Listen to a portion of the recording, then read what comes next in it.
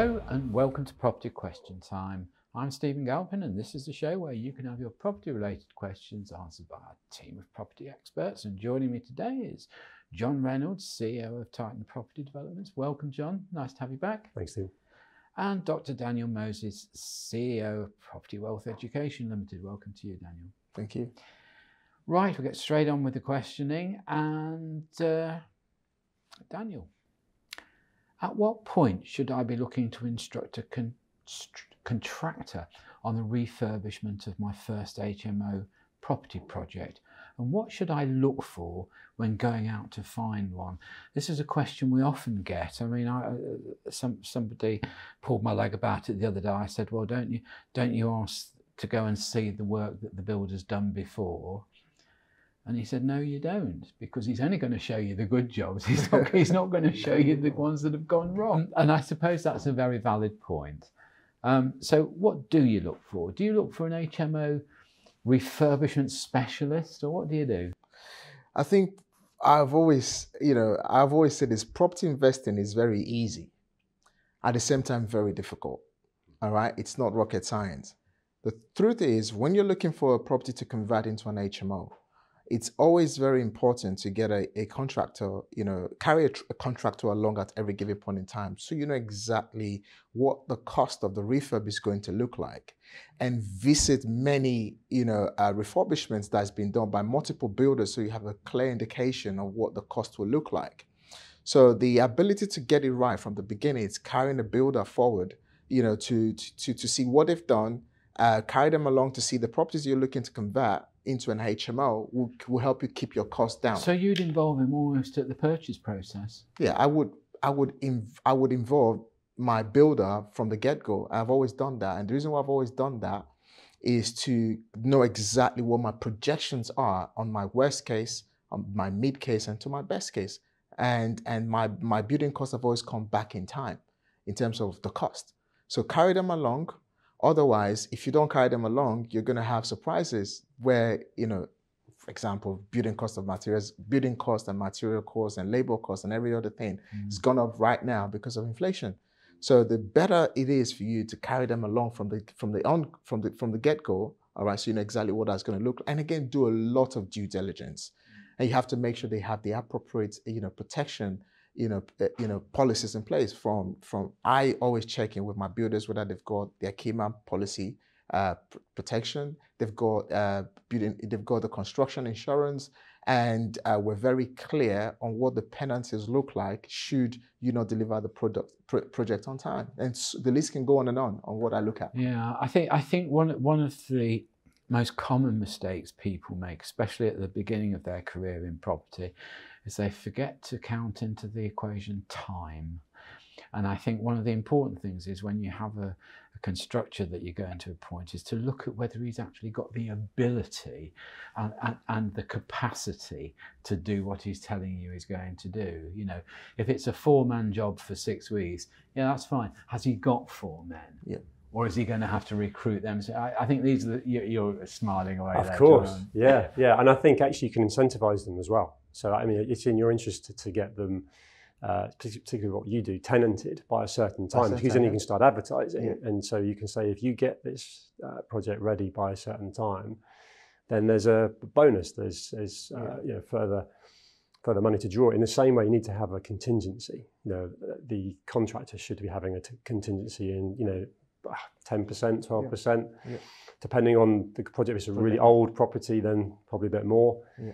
Um, and actually, then if you factor that into your numbers, I often use that contingency as in the sum of it for uh, the incentive towards them, so that yeah. they've got something. Because um, finding a good contractor is why I'm smiling. Finding a good contractor can be tough, right? And you don't have to keep hold of them when you get hold of them. Because even you mentioned bringing a contractor in from the beginning. I've had some of the dare I say, wealthier, more accomplished builders, contractors that have actually tried to take properties off me from the beginning, particularly in, in younger years when you know um, you're sort of finding your own way and you've I found a property because you come and help me check this all out and cost it out, and all of a sudden the agent's ringing saying I've got a bit of a tricky situation here, you know, so.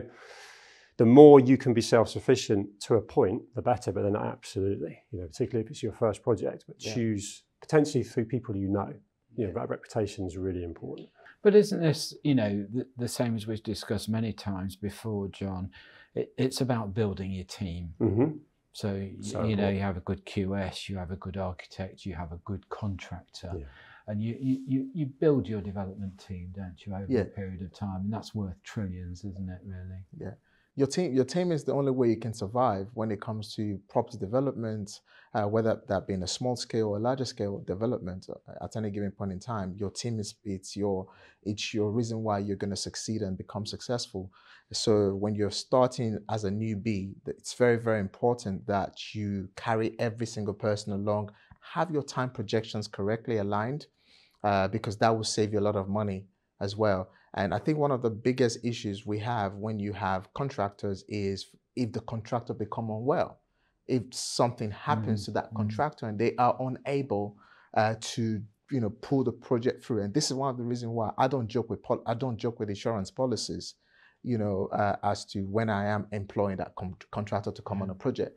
This you is know, your key man policy. Yeah, which is your key man policies. So if you're not, if you're out of the job for a week, do we have someone else who's going to take that project to the next level? Yeah. You know, and again, building all of that into your uh, your contract. Yeah. It's very essential. And also, I, th- I think the final point on this, and I, th- I think John would agree, is also your your, your point of communication who is it that you're going to communicate with during the refurbishment process or building process?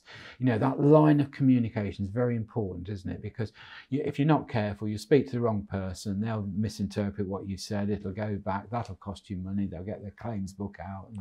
Yeah. no, totally. I think the other thing as well is if, if it's your first project and you have the opportunity to spend time on it, immerse yourself and, and talk to the trades that the contractors using and, and get to know them and just make sure you're aware of what's going on because you're only going to be a much better landlord and developer for the next one by doing that rather than just yeah. completely. Some people it's not an option. Some people invest passively. in, a good contractor will, will, never be shy of letting you speak to his electrician no. or his plumber or whatever else. It's just part of the service. Yeah, part, if, they, if, they're good at what yeah. they do, they'll be proud of what they're doing. I think the other thing is pay them when they are due to be paid because so many contractors get knocked and are so nervous about yeah. not getting paid. And so if you go, uh, particularly for that project, let alone your next one, they'll remember you for yeah. being someone in. And it might be you have disagreements on things and so on, but when money's owed, pay it, pay it. because that always comes back. Well, I was always taught you, you, you, pay your money and have the argument afterwards. Yes. Yeah. Yeah. Because you're on the high ground. Yeah. And just, just to quickly add to, to that as well, I think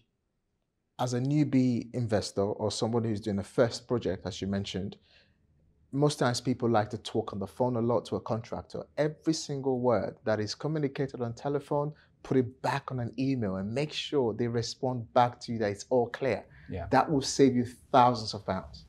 That's great advice. Absolutely agree. Yeah. All right, John, um, slightly different subject, and it's about mortgages, which um, you need to have in place to sell your properties. Mm. So uh, there were. Do the panel think it's time to revisit the subject of alternative mortgage products, taking into account the recent increases in cost and inflationary based limits of salary increases? I'm thinking of low deposits, extended terms of, of uh, uh, loan length, and perhaps loans that would stay with the property rather than the person capable of being passed down to the family's next generation. What do you think? That's interesting. There's quite a lot there. Yeah. The answer to the question is yes. It does. It's what is what is it that is going to be done? You know, we've got we've got a really suppressed market now. You know, if there was more fluidity of lending, we'd have a lot more sales going through. We all know that. So we were talking off camera about yeah. uh, the more entrepreneurial side, the yeah. more um, kind of what's the creative way of doing it. It needs something that the government agree with, that RICS agree with, that could uh, ultimately free that up. Sitting here now, I don't know what that is. You know, um, income multiples are probably at the maximum that they can be. Um, you know, you're only going to cause problems if you raise them to try and get more people coming in. It's, mm. it's potentially more help to buy, for example that was a great initiative. You know, forgive me, I don't know if that's actually been replaced with anything. I don't think it has. I don't think it has. But that worked. It was abused at times, but it worked. So I don't know if that was mentioned in the question, but that was something that I benefited from as a developer, and other people were able to benefit a, coming in. So I have another developer contributor who tells me that actually Help to Buy helped the developers a lot more than it helped the people buying. yeah, I, I, think I saw both sides. I was the developer selling, but I also saw that what it allowed, what I saw a lot of was Bank of Mum and Dad got involved. Yeah. So the grey pound, which actually is a great, you know, if you look at it from the government's point of view, they want to unlock that. They want to be in a position where that money's freed up and that helps the next generation. That's that's a key part of solving the housing crisis and so on. So that's I saw a lot of that where they thought that's a great initiative. I'm going to help my son or my daughter. I'll put the money in. So. John, uh, what I did read in, in, in a report recently was that the, the view is for 24 25 that whilst it's still unclear the path of interest rates, although I know one or two lenders have, have, come down a little bit this last week or two, but the, the general trend is a bit unclear how long it's going to take to, to come down.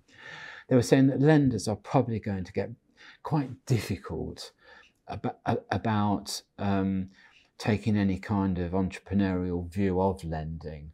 You know, it's going to come down to very strict facts, very strict criteria to, to, to, lend. And I think if that's the case, that's fine. I don't blame a lender for wanting to be careful, to be cautious, because I've always thought, you know, you were talking about uh, uh, uh, multiples of salaries. Yes, you might get a broker that can persuade a lender to go from times five your earnings to size six, but I, I'm not actually sure he's doing you a favour because it actually is getting you to overcommit and he's just trying to get you to a position where where you get the mortgage rather than worry about whether you can pay it or not. So I think I think it's important to have the criteria in place, but I think it does beg uh, uh the question: Should we have extra products? And I, I think we've been a bit slow to look at interesting new ideas. Yeah, and I think we needed to jump on that the moment interest rates were going up. You know, it was about fighting inflation um, I think the house price curve was just continually surging, particularly on the back of COVID, which was mm. a, a, complete anomaly, a moment in time, but it, mm. it sent prices in certain areas, particular skywards, and they were trying to control it. But then there's still a shortage of housing. There's still people that want to buy. Again, talking off camera, you know, the, the, the market's not dead. It's just financially, it's there's not enough products. Um, but uh, yeah, I, what what that would look like, what's brought in. I mentioned help to buy. Who knows? Needs more creativity. yeah. Yep.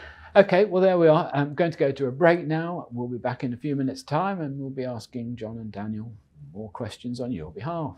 Join me then.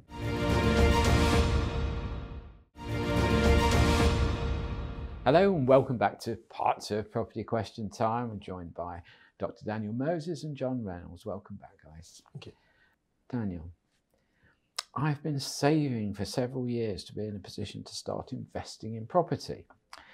I'm now at a point where I have a good level of funding and a good deposit for my first project. However, all my closest friends are now saying that it's a bad time to get into property investment. Some guidance here would be greatly appreciated. What are you going to say about that, Danny? I always say this that there is never a wrong time to invest in property. Uh, simple statistics is that you know, over the last 1,000 years, you know, property tend to go up in value every 10 to 15 to 20 years. So if you understand the cycle and you have a strategy and you have a straightforward plan on what to do, then you've saved enough money, buy it and wait. So I, I, I, I also say this all the time. Don't wait to buy, don't, don't buy, don't wait to buy real estate. Buy real estate and wait.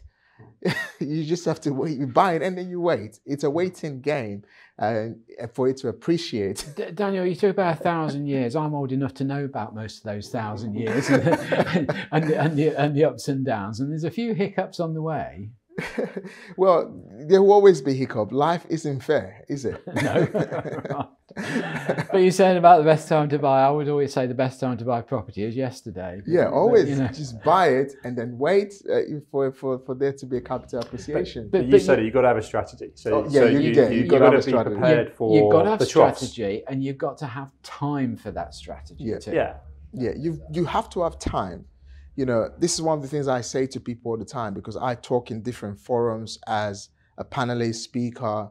Real estate first is not a get rich quick you buy it, you wait uh, for it to appreciate. I'll give a simple statistics. There was one of the properties that I owned sold in 1994 for 64,000, sold again in 2020 for 190,000. I bought the property for 470,000 in 2020, uh, 2020, just before the lockdown. So you can see over time, property will always go up in value. Mm. You know, that property that is worth 470 at that time I bought it, it's not going to ever go back to be sold at 64,000 pounds. No. no. So real estate do, is a long time game. Do, do you do you believe in following investments around on, on, on what's happening commercially? I mean, let's take in London for instance. There's a lot of people that invested in properties that followed the course of the Elizabeth line going going across London. Yes. Hmm. Um, is that a good strategy? Yes, it is a very very good strategy. I mean, look at the Queen Elizabeth line, Abbey Wood, just next to Woolwich. Okay, many years ago, you wouldn't buy a property there because the transportation connection was pretty very bad. But today you have the Queen Elizabeth line that goes through all the way from Abbey Wood through to way to Woolwich and all the way to Reading. And, you know, so yes, you can follow that line. You always look at regenerations. Hmm. Yeah. Okay, you look at immigration, you look at population, you look at growth in the local economic statistics in order for you to make informed decisions when acquiring assets. Okay, and advising our viewer that's written in here, what would you say? Do that research on the internet or are, are the companies that you would go to to get that information from? I mean, education uh, it's it's it's very key these days. There's there's a lot of books that can be read on you know on property investing. There are a lot of you know YouTube. Not least your own. there, there's a lot of YouTube channels uh, that are out there that you can actually follow to see people's story, real life case studies, and uh, you know multiple educational seminars that are there. They're really good ones. Mm. You know, it's all about doing your due diligence and knowing where to get information. But one of the things I always say, uh, do not go for, you know, if you're looking to get into property, do not go to the wrong person for the right advice find the right person hmm. who's what the work and let them show exactly what to do. Yes. And make sure that fits with your own finances your own time schedules yes. your own availability i suppose to concentrate on your new business. yeah. I mean property is a business. You know i, I always say this property is a business. If you're looking to buy where you want to live it's completely different. Mm. but if you're looking to start earning from property then you're looking about you know setting up a business. So in business it takes time for it to go. And again, 90% of businesses that do start up, not a lot of them that do make it to the first five years. Mm. So these are all different things that they have to consider. Mm. Yeah. To, to, use the strategy, because some people want to get involved in property emotionally, fascinated yeah. by property, whether it's uh, particularly English people. Yeah. But just buying a property to try and make money over time without a strategy is seriously dangerous. Because well, you've, I, you've, got a great uh, yeah. strategy model which you're educating yeah. people with. It's just knowing that you can weather the troughs. We're in one now. But actually, if that's uh, sales values dropping, actually the rental values increase. So if you're focusing on yield, yeah. you're in a better but, place. But John, you're right. That, that there are a number of people that think if you buy property, you have this God-given right to make money and especially today where refinancing is difficult if you make a if you make a mess of your financing it's not that easy to change these days not, not like it used to be it's very expensive very expensive well. to change legal well. fees there's an arrangement fee there's yeah. an exit fee yeah. um, and before you know if you haven't factored that in you know and this is all back to strategy yeah strategy is very very important you know? and that's yeah. why it's so important for you to to to find those who've already worked the work for them to teach you exactly what to do. I mean, the biggest problem is is there's a very um, a big issue with influencing as well these days. So people are getting influenced in the wrong way to thinking that property is a, again, I say it again, get rich quick. It takes time to make good mm. money in property. Yeah. You're not going to get into property today and make money tomorrow. And there are so, there are so many factors. I mean, for instance, you looking out the window here, you can see blocks here with 600 apartments in the block. Mm. You know, if one person in that, per, in that in that property decides they need to ditch their property very quickly and sells it off at a 30 40% discount, that's set the level for your block because the valuers will pick that up and that valuer will regurgitate within that building. Mm. So, so you can be subject to a lot of very critical factors here, yeah. can't you? Yeah yeah, but I think ultimately, you know, back to the question, if someone's got the money, they've saved, and they want to uh, they want to get into property, and then obviously there's a lot of negativity about the property market at the moment. That's ultimately in their favour potentially because the market's slower. You know, there's more opportunities there may be some people that are in difficulty, and of course, depending on what your strategy mm. is, you might get a better value on that property. Then you actually build in a bit of equity over time because the graph ultimately, as you say, is always going up. Yeah. John, and again, it depends on the type of property that they will be looking to sure, buy in at this yeah. particular market. Yeah. John, um, it's quite a while since I've done it. do we still have trouble with valuers in the new development market? Do you really want to ask me that? Yeah. Do you really? Do you know? Yeah. It's exactly as it was. If anything, it's worse. Is it? Yeah. Yeah. And of course, they're you know they're scarred from you know certainly the the spike in 2021. Um, and I was surprised there weren't more down valuations then. So anyone selling now, potentially, depending on where they are and what the product is, is selling for less than what they bought just two years ago. And because of that, surveyors are even more finicky and cautious, and that's never a good thing. So it's still the fight it was. Still a fight. Still a fight. Yeah. well, I'm glad I'm doing this now. Right? yeah, yeah. right, rather you. Okay, um, John. Again, another subject I'm sure close to your heart. It says, "Do the panel think that, along with the government, there will be a rowing back of green requirements in the world of property development?" Now, I, I know that you have developed a wide range of properties. Mm. I think from barn conversions to multi-unit, you know, apartment blocks. Right. Um, Still doing it.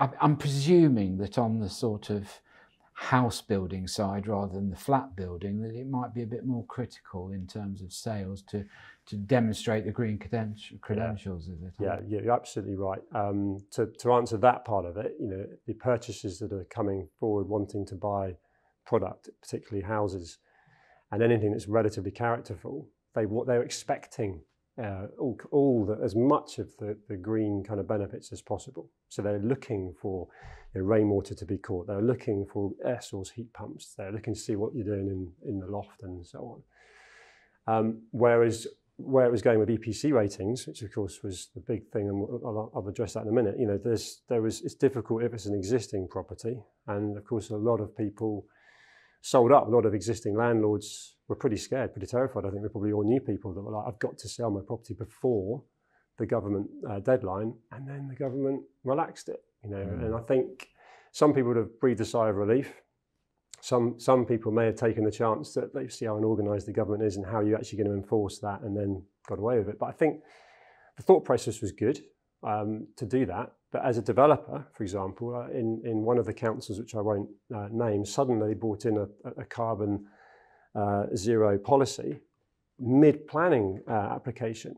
And for me to then try and address how to factor all those costs in was tens of thousands of pounds. And I've not factored that in, in a suppressed market as well. So we were having a bit of a fight. Now that still stands. That's, that's local government, not uh, central government. So mm. it's a bit of a mess.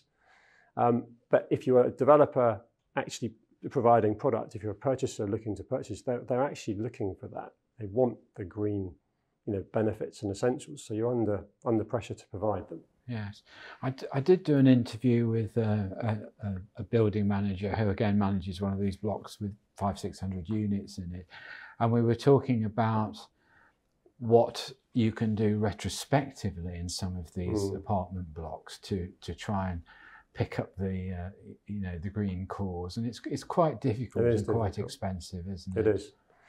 Um, and, and, I mean, sorry, just one other thing. I mean, we're talking the other day on a program about um, gas boilers. You know that they're going to be outlawed apparently. Well, um, they, they were saying that you know actually what a lot of people are doing because gas boilers are cheap, they're buying a spare one, putting it in the cupboard, and waiting for the day the original one wears out, and they'll just just replace it. you know. Well, I'm sure we've had a conversation on previous programs about something similar that's brought up electric cars and the whole yeah. thing with diesel. I think, yeah. you know, when something works and it's established, you know, it, the next phase needs to be relatively seamless. That's sure. not been the case here. That's probably the best way of answering. You know, it, and, and, yet I'm all pro it. We all want to be sustainable for the planet. It, you know, we need to be embracing green but it can't just sort of all come at once, you know, and that's me looking at it as a developer, let alone the landlords that have got properties where they're getting an income, but they haven't got the cash to then suddenly have the outlay to have improved those properties to make it happen. But, but yeah. why, why is it, John, government can't think ahead? I mean, listening to the news today, I think although they've cut back on HS2 and limited it to, to, to Birmingham, mm.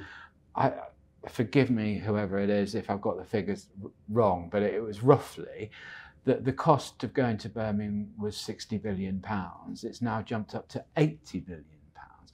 I, I just don't know how you can make a 20 billion pound mistake in just in, in just a period of a few months. Yeah. And it's the same with that village they were going to convert to hydrogen gas you know, so people run their kitchens on hydrogen gas, and now they've suddenly decided that's far too dangerous, not going to do it. Mm. But of course, there's been a lot of investment in getting ready to do it. huge it. amount, of, yeah, oh, huge amount of, of consultancy. Why, why, why, why isn't somebody looking at? Well, it'd be like it'd be like us agreeing to do a development and doing part of the due diligence, getting two thirds of the way through, and going, "Well, guys, this isn't going to work. No one's mm. going to live here. We can't find the right tenants, and we built it all wrong." I mean, you wouldn't do it. No. So why back to your point why has that been allowed to happen? You know there's been some shockers and this was this has also affected a lot of people outside of property that are trying to be in that sustainable space pledging a commitment to what the government ultimately you know wanted to do and then they've they've pushed it back. So not ideal. Such is life. Mm. well there we are. I'm going to say a big thank you to dr daniel moses ceo of property wealth education limited. Thank you for having me Thank you for coming in. And John Reynolds, CEO of Titan Property Developments. Thank you again, John, for your Pleasure. input. Thank you. Good to see you both. Um, look forward to you both coming back in the future. That's all we've got time for today. So join me again next time on Property Question Time. I'm Stephen Galpin. Look forward to seeing you then.